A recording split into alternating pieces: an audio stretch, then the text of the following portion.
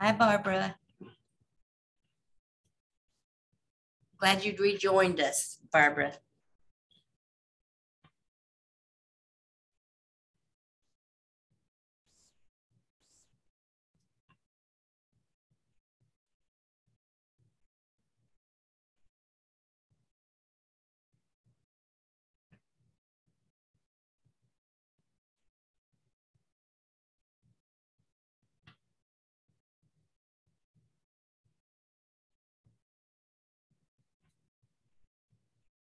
I'm glad everyone's been on this roller coaster with me of will we hold in-person programs or will we hold it virtually? And um, I think as long as everybody remains flexible, you know, you'll get some good out of it. Uh, we had hoped to have this program in the library, but uh, you know, this way we reach more people, I think, and uh, get good information. So uh, if you have any questions about ongoing programming, uh, do check our website. We keep an updated calendar. And uh, I think the decisions about February programming are being made this week. So that's good. We'll know whether we're going to have like book group or movies and things like that.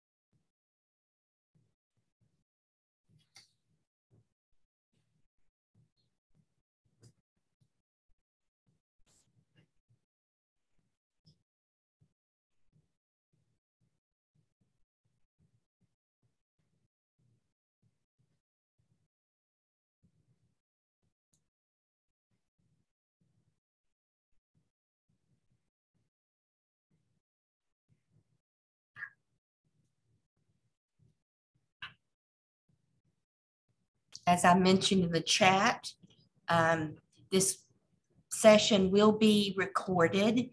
So if you want to share it with uh, other people, teachers, students, people, retirees, whoever, um, this will probably go up on the Hoover Library's YouTube channel later in the week. And I will be emailing you a handout that includes everything that Amy's going to speak about today. That way you don't have to rush and keep notes. Um, that handout will have hyperlinks in it so we could get right to some uh, the things she's going to talk about tonight. And uh, we've got a good number of people here. Thank you so much for taking time out of your evening. Um, this is something that's been near and dear to my heart for quite a long time. Actually, I didn't even know it existed before I heard a talk by um, Sarah Parcak at UAB. And uh, I'm sure Amy's going to go into that later, but I found out that there were these, these projects out there that everybody can participate in and be active in ongoing science and research. I found that fascinating. I had always heard of like Audubon's bird count, things like that, but I didn't know that in and of itself was citizen science. So um, Amy uh, has been a friend for many, many, many years, and um, and I knew as a science educator, this was something that was also near and dear to her heart too. So we put together this, this evening tonight to give you an introduction to citizen science. And Amy has a, a, a background that follows falls great into this. She has a, a BS in ecology from Tulane. and a BA uh, from UAB, UAB or UA? Ooh, did I get that right? Uh, from UA. UA. That's right. It's from Alabama. Yeah. Yeah. Yeah. In Tuscaloosa. And she's done a lot of environmental education, but also a lot of teaching, all ages. Um, you know, a lot in environmental, but just great teacher. I know. Um, I've been the recipient of some of her talks in uh, on the river, and uh, we've enjoyed uh, time on the river together. So I know tonight will be beneficial. And like I said, it will be recorded. I'll send email out a uh, handout. Um, and I hope you enjoy. Amy, Amy, you want to join us and let's talk citizen science. All right. I'm going to start by sharing my screen. So just give me a, a minute to do that.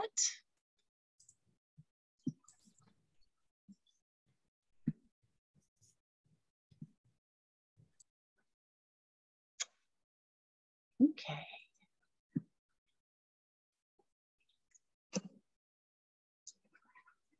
All right.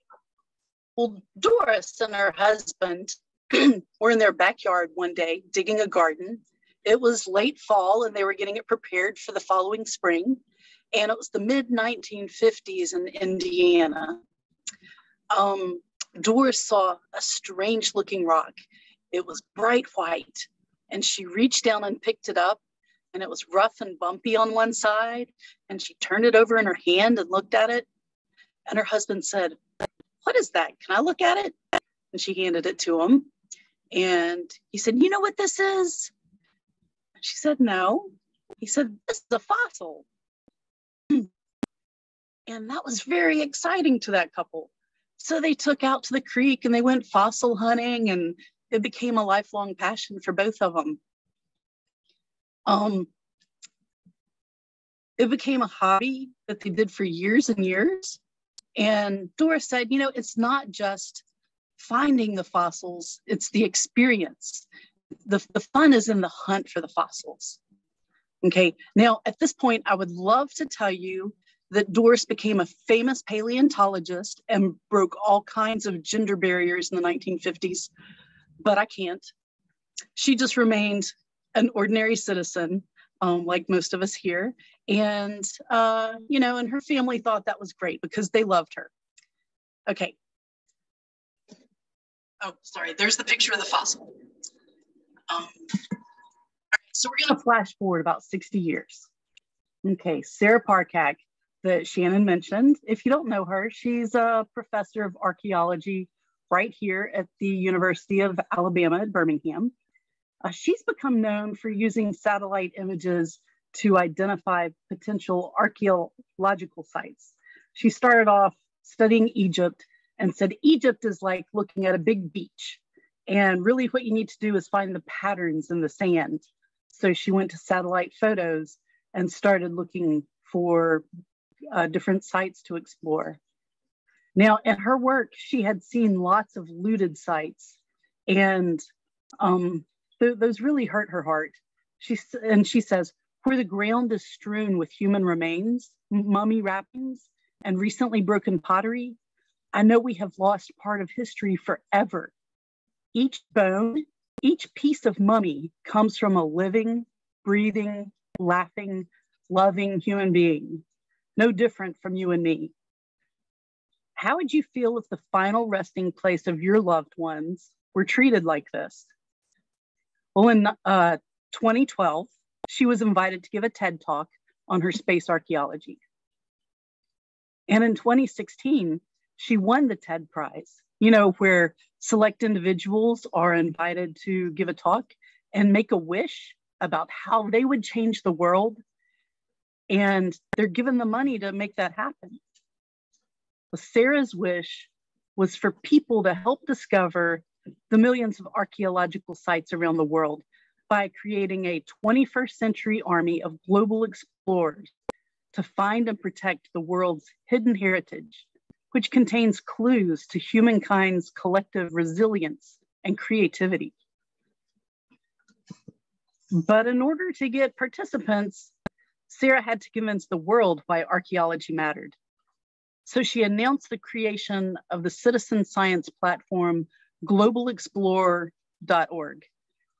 And she invited the world to assist her with her work. She said, The greatest story ever told is the story of our shared history, our shared human journey. But the only way that we're going to be able to write it is if we do it together. So the resulting online crowdsourcing platform, Global Explorer, allows anyone in the world to help map ancient sites by looking at satellite imagery. Okay, so we're going to return to Doris for a minute because at this point she's 90, she's living in Cleveland, and she wanted something to do. She felt like this would be something useful. And she also said she felt like this might help jog her brain a little. So she accepted Sarah's challenge. So Doris, uh, she joined Global Explore when it launched in 2017. And from her armchair, she searched 50,200 pictures of sections of the earth that represented 300 square meters each. And that was with the uh, Global Explorers Expedition, sorry, Expedition Peru. so the Peru project wrapped up in 2019. They had at the end 70,000 volunteers from over 100 countries, having viewed more than 14 million pictures um, of those uh, 300 square meters. And they identified a collective 19,084 features of archaeological interest. Okay, so now these sites that are found by Doris and thousands of amateur archaeologists, they're being shared with the local archaeologists in Peru and government officials there who are checking them all out in person. Um, one of the officials that they're working with is the one that's designated for antiquities. And so they can really uh, strongly protect those sites from looting and give themselves time to be able to come in and uh, find out the story behind them. So one thing that Sarah had said was that there really aren't enough of us scientists. We've got to give more people opportunities to become explorers. And um, Doris says, even at my age, I can continue to hunt for lost civilizations. All right, so the next, um, Peru is wrapped up, and the next uh, area that they're going to explore is India. And I feel that should be coming out pretty soon. I think COVID has delayed it a little bit, but it's something I'm excited to see what, the, what they do there next. So this brings up the point that a couple of centuries ago, scientists were people who thought about our world and wrote about it to explain how things are the way they are. Most of them were rich enough that they could study science in their free time since doing science didn't provide an income. So these gentlemen scientists, uh, they formed communities so they could talk over their ideas with each other. Then in the 19th century, um, full-time career scientists became a thing because that's when governments and universities started paying people to do science. So the idea of a professional scientist was born and that contrasted with an amateur scientist, which just didn't have the formal training. Uh, the amateurs didn't earn a lot of respect in their fields and they couldn't really do research or publish anymore like they used to. But in the last couple of decades, things have really changed and there's a lot more collaboration between the professionals and the amateurs. Um, in the mid 1990s, the word citizen scientist Uh, was used to describe people who didn't have formal scientific training, but they volunteered their time to help with scientific research. Now, some kinds of work are really ideal for this, as you'll see in a few minutes, because they don't require extensive training, just a lot of enthusiasm and sometimes lots of patience. like the volunteers at the Nurdle Patrol. Okay, so a nurdle is a small plastic pellet. It's the raw material for everything that we make that's that's made out of plastic. So These little bits are made, they're shipped all over the world to factories that then melt them down and make them into all the different plastic products that we use every day. The problem is when they're being loaded onto the trucks or rail cars or ships, some of them spill out on the ground. And even during transportation, they can fly out and then they wash up on our beaches and you find them in our streams. Now, that becomes a real problem when animals think they're a food source, like they're fish eggs or maybe seeds or something that they ought to be eating, but there's really no nutritional value to them. They can clog up the intestinal tracts of the animals. They make them feel full so they don't get hungry. And they could, the animals can starve to death. So a couple of guys started wondering, where are the currents and the winds taking these nurdles? You know, hurricanes take everything on the water, everything in the land, and just kind of move it all around. And so they were wondering, um, what are the places being impacted by these nurdles? Is there anywhere that doesn't have them? So they did what any good scientist would do and they set out on an epic road trip. They looked for nurdles along the beaches of the Gulf Coast, from Texas all the way to Florida. They taught people along the way what a nurdle is and how to look for them. And then they developed a database that they put online so volunteers could enter their data. The Nurdle Patrol expanded to encompass all of North America. And now they have a global following. They use this data to work with companies and regulatory agencies to eliminate nurdles from our waterways. In fact, a lawsuit in 2020 by Texas residents resulted in a 50 million settlement and Formosa Plastics agreed to um, zero pellet loss and so this money is helping to fund projects like Nurdle Patrol and to help the cleanup of Cox Creek, which is near the plastic plant. And so that's the beauty of citizen science is that anyone can participate in it. School kids, educators, people with an interest in science, but they chose a different career, video game fans, I'll tell you more about that in a minute, um, retirees, environmental justice advocates, Girl Scouts and Boy Scouts, and anyone interested in science can help experts with their research projects in a hands-on and really useful way. In fact, there's even a Girl Scout badge associated with the Nurdles. Um, this patch was created by a girl in middle school that uh, she's in California and it was part of her silver award uh, she worked with the Nurdle Patrol and some people uh, overseas in England to come up with criteria for earning this patch. So if you want more information about how to earn the patch, you can drop her email at this address seen right down here in blue, if y'all can see the cursor on my computer.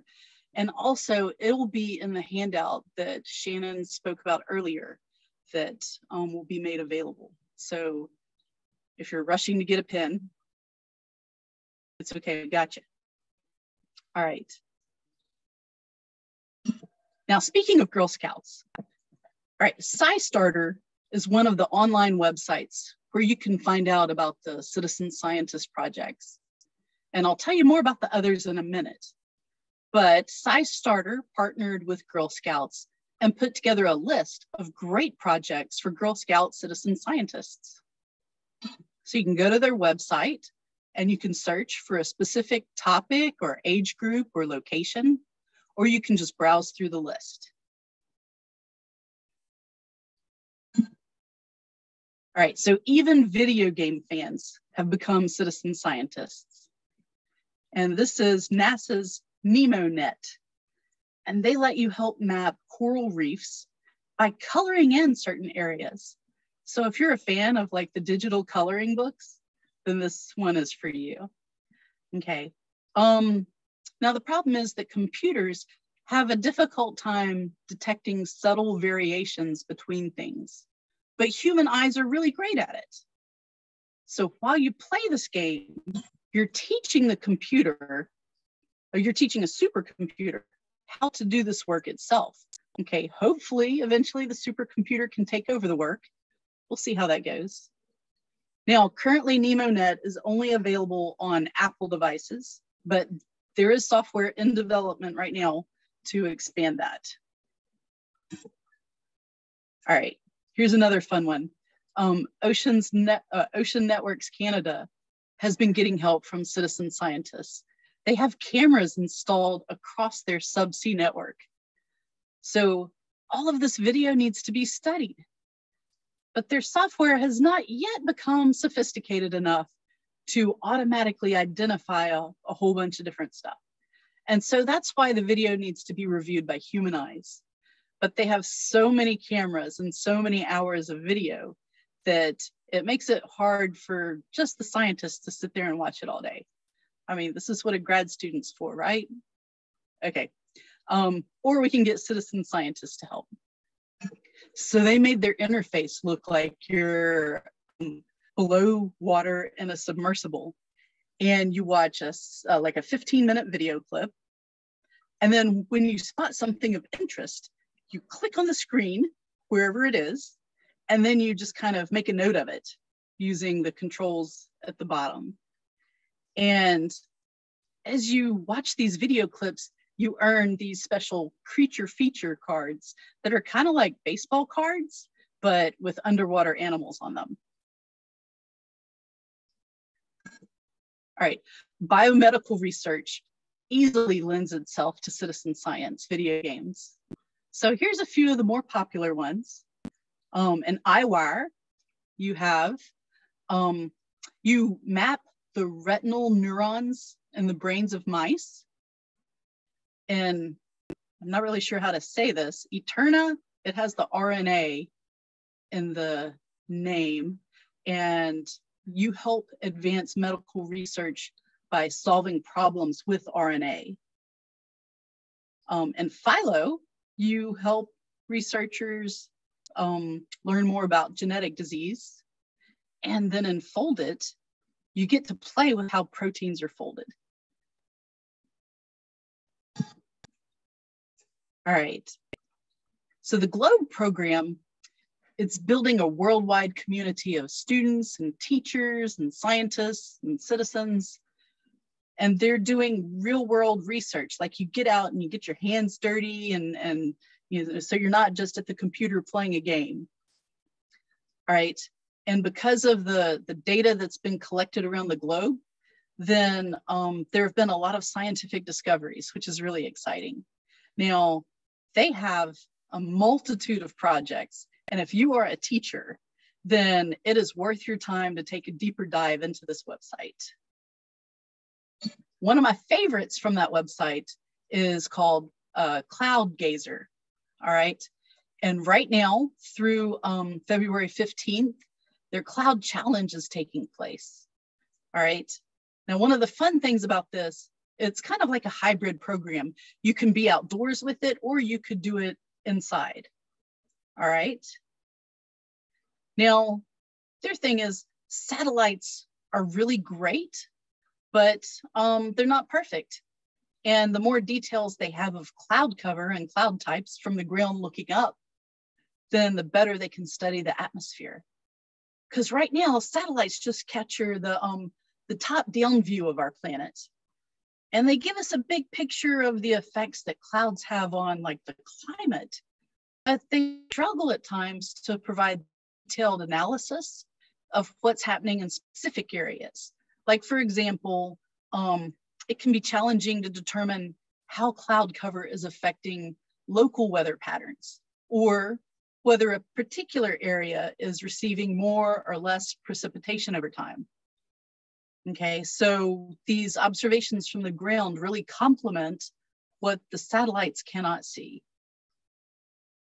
All right, so here's how the outdoors part of this project works. You download the Globe Observer app on your phone over here on our left. And then you click on the clouds. Now, these other ones, mosquito, land covered trees, those are some of the other projects they have. But for the clouds, you click on the clouds and then you're taken to the screen that is in the middle of our page. And you would just click on new cloud observation. And then it asks you a couple of things about the date and the time and your location. And it takes you to a really handy tutorial that has lots of really great pictures that just walks you through every step that you need to do.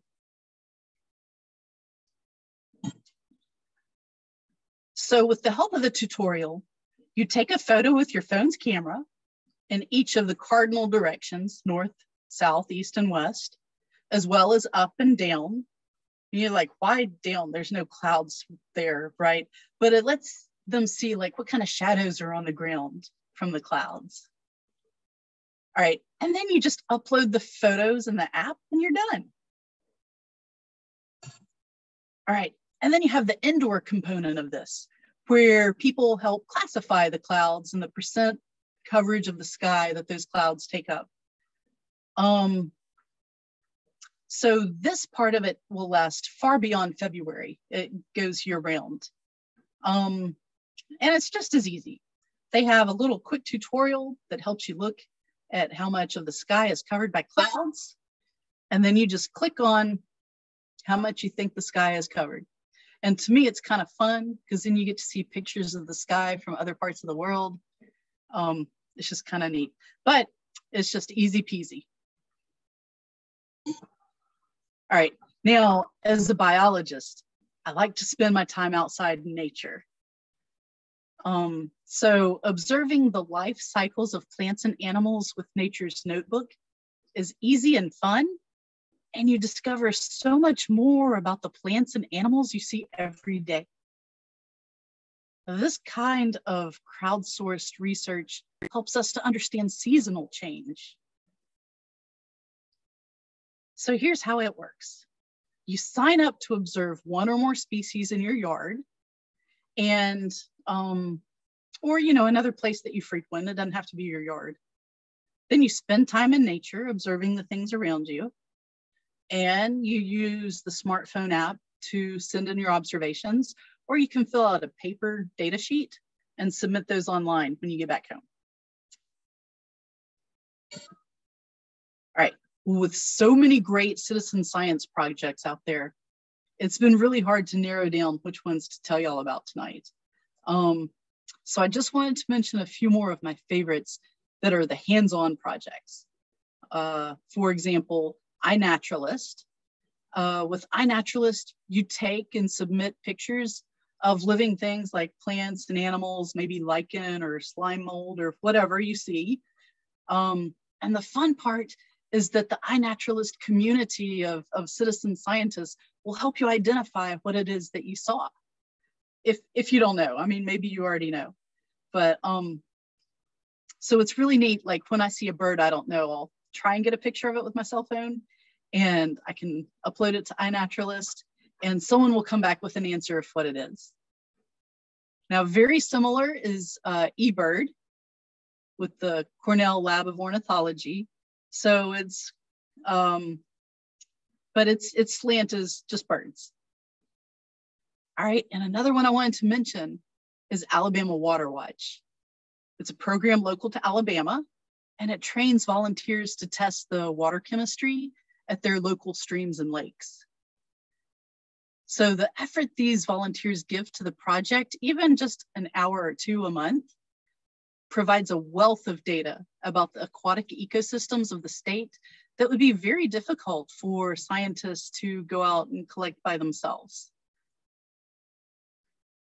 So these are some of my favorite citizen science projects. And I recognize that a lot of them have a slant towards biology, but I assure you that there are also plenty of other projects that have more of a slant towards chemistry or physics or engineering or geology, any other branch of science you can think of. So you might wonder, where do I go to find out more about citizen science projects? And you're lucky that there are several different websites that are kind of like a clearinghouse or maybe just a collection spot for citizen science projects. And I have some on the screen. These are also going to be in the handout that Shannon mentioned. And um, so you don't have to scramble to write them down right now.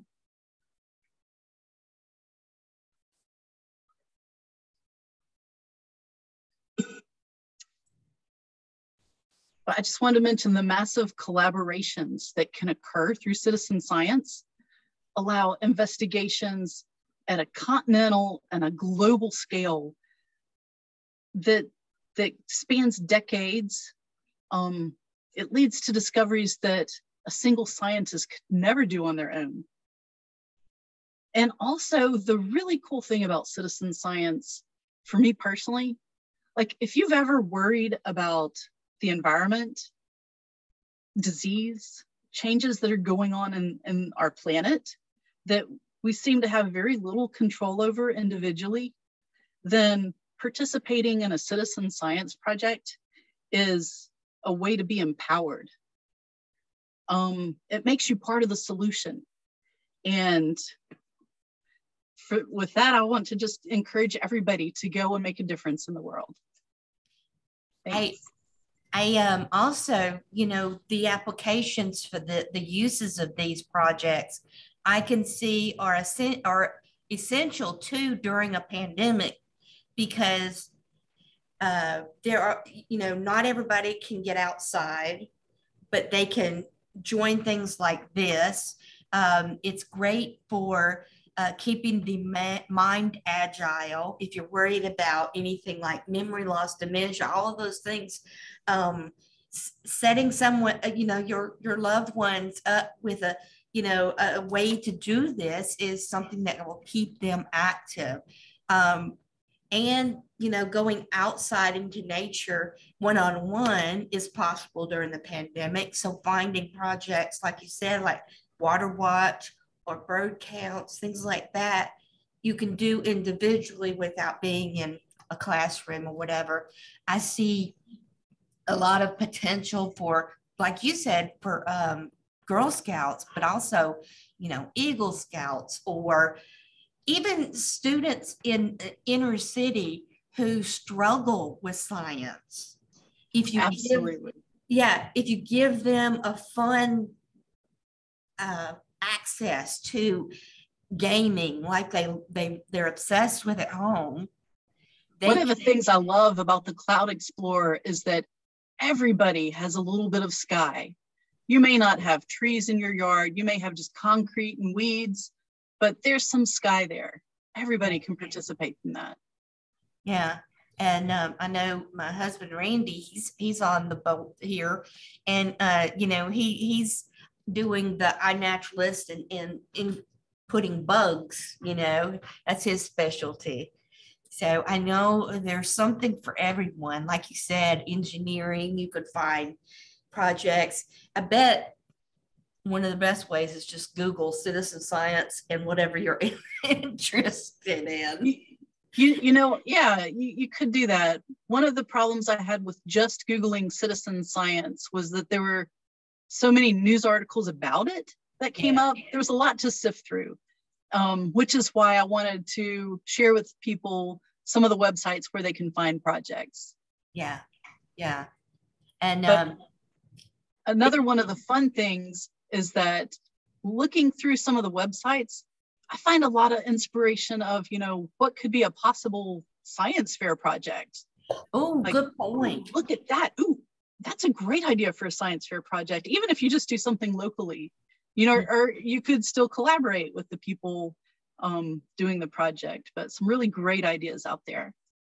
Yeah, this is great inspiration and fodder for educators, inventors, you know, anybody who, who, like you said, may not have been able to become a scientist and they become a banker or a house cleaner, or whatever you can you can become involved in, in your spare time if you have it right that's a good point because you know when i was a kid i loved playing basketball in the driveway with my sister and no one ever thought that we were going to become professional athletes and I also love doing art, but no one ever expected me to become a professional artist. And yet I can still enjoy art.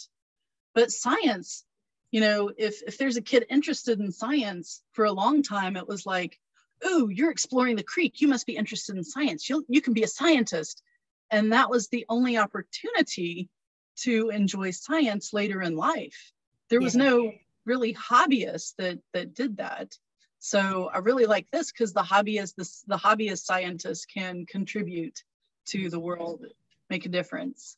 And in throughout history, a lot of the, the major concepts of science were done by, like you said, gentlemen scientists who would all get in a room, you know, probably smoking their cigars and cigarettes and, you know, drinking alcohol, but they were like talking about science and this is the same concept without the cigars and the alcohol. Getting together with other people and sharing science. Um, let's take, does anybody have any questions?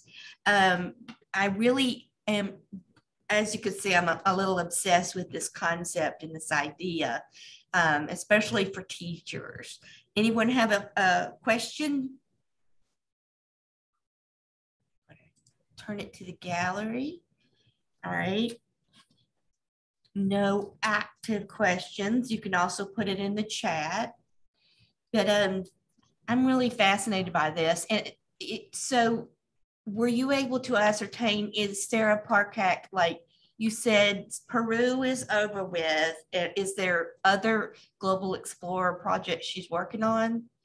Right. So what they want to do with the GlobalXplorer is make sure that the area where they go next, um, any area that they ever go to, they want to have the government involved with it, um, people that can enforce the uh, protection against looting, and people that would able to be uh, able to, to do some archaeological digs there. So obviously anywhere that is a war zone would be out right away.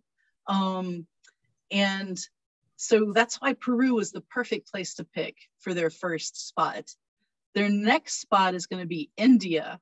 And I've heard that it's going to expand the amount of area that they are searching um, so much more. So I know it had been slated to get started in 2020. Um, I expect they've run into some issues with COVID, especially it being, you know, an international effort. So I'm just um, waiting for for uh, news that they're moving forward with that. Right, right. And um, yes, okay. How can you share this session? Well, we're recording now, and uh, we will have the full recording of the whole talk um, by the end of the week on Hoover's uh, YouTube channel. So if you go to the YouTube the YouTube channel. That ages me, huh?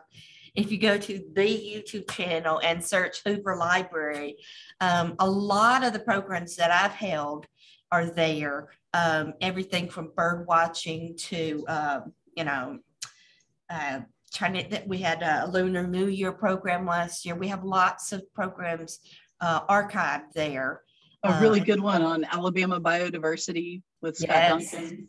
Yes, Scott Duncan did a wonderful job on Alabama biodiversity. Um, we did one on the Cahaba lilies. Uh, a lot of these are archived on our YouTube channel. And that's something that I think has good has come out of the pandemic is that a lot of things that you may see a flyer for and can't go to now there's a possibility that if it's done with a school, a library, or whatever, recording it and putting it out on social media. Um, so you're welcome to use that uh, with your daughter's earth and space science teacher. Um, any other questions? And if not, we will, uh, oh yes, and uh, I do have a great talk from June Ebersole, who talked about the megalodon research going on in Alabama. He's at McWane Science Center. So um, if you have any questions, I'm going to uh, include my email address, and if Amy uh, agrees, we'll include Amy's. Um, and, you know, I just, hope, I think, I think it would be great for a public libraries around the area to have like teen science clubs and like the whole team get together and do citizen science projects like like you know during the summer they're going to do you know the the iNat eh, going to do something with iNaturalist or the next two months they're going to study clouds and you know it'd be fun science yes that reminds me of something i was going to ask you about because in looking around at citizen science projects i've noticed that a lot of libraries are starting citizen science packets that they loan out to people with various stuff in them that they need to carry out research. That's and I was wondering if the Hoover Library is interested in something like that. That's a fantastic idea. I do know, um, for instance, that, oh gosh, am I going to get it wrong? Homewood Library checks out um, telescopes. Um, oh, nice. And some of our area libraries have uh, things like that you could check out. I know uh, Avondale checks out ukuleles, nothing to do with citizen science, but it's unique. Um, but yeah, that'd be a great idea to put together citizen science packets. That'd be great. Yeah. And, uh, you know, keep the suggestions coming and uh, keep it tabs of the Hoover Library's calendar because, as you know, things are changing. You know, one week we may be in person and the next week we may have to go virtual. So be flexible and enjoy your time with your family. Stay safe. And uh, thank you so much for participating in our citizen science talk. I hope it inspires you guys. Thank you, Amy, so much. Thanks for having me. All righty. Take care.